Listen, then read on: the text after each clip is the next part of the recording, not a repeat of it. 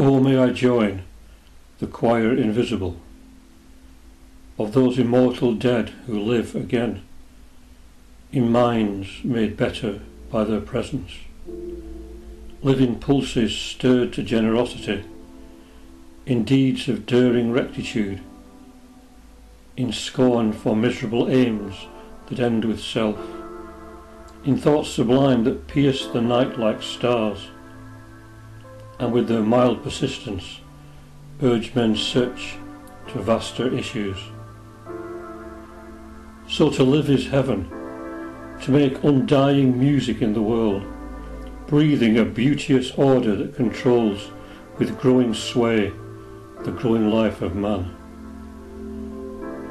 So we inherit that sweet purity for which we struggled, failed and agonized with widening retrospect that bred despair.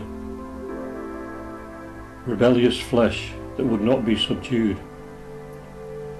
A vicious parent shaming still its child. Poor anxious penitence is quickly dissolved. Its discords quenched by meeting harmonies. Die in the large and charitable air. All our rarer, better, truer self that sobbed religiously in yearning song, that watched to ease the burden of the world,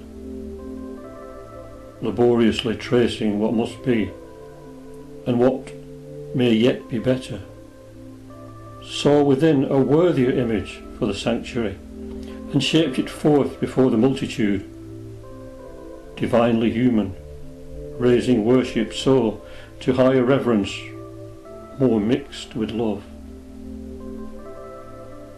That better self shall live till human time shall fold its eyelids, and the human sky be gathered like a scroll within the tomb, unread forever. This is life to come, which martyred men have made more glorious for us who strive to follow.